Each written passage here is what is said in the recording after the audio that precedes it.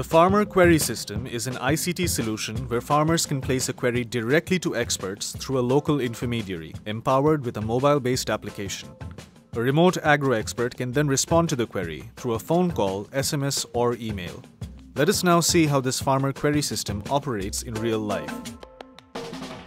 When a farmer comes to a local intermediary, the intermediary starts the mobile application.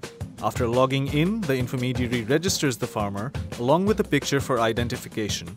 The intermediary then collects relevant data regarding crop, land, and seasonal information.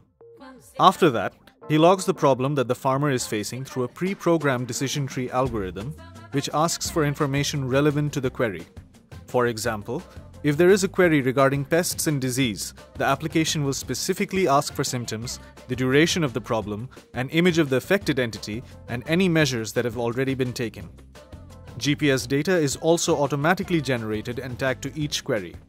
As soon as the record is submitted, it gets sent to an interactive web dashboard over mobile internet, which is then viewed by an agro expert. Based on this information, the expert can provide specific recommendations either through a direct phone call to the farmer, or an SMS that gets sent to the farmer's phone, or an email that gets sent to the intermediary. In this way, expert recommendations can be obtained for a wide variety of agricultural challenges on the field.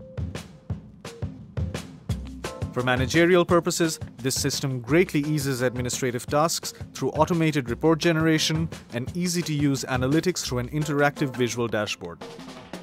We have just seen how the Farmer Query System establishes a quick and on-demand communication channel with experts for reliable agro-advisory services. Ensuring authenticated information to farmers can lead to better yields and hence prosperity for the farmer, their families, and their communities.